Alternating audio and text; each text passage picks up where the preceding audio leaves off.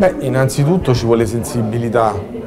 bisogna capire che eh, i titolari di partita IVA sono delle piccolissime, delle microimprese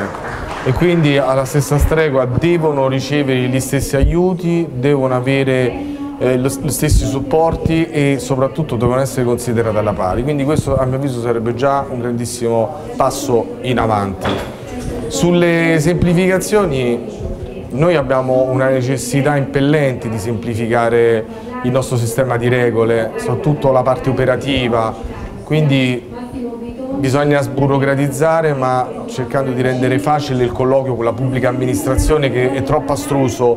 questo tipo di contatto e soprattutto in tutta l'ingente serie di adempimenti che si devono porre in essere per ottenere un servizio.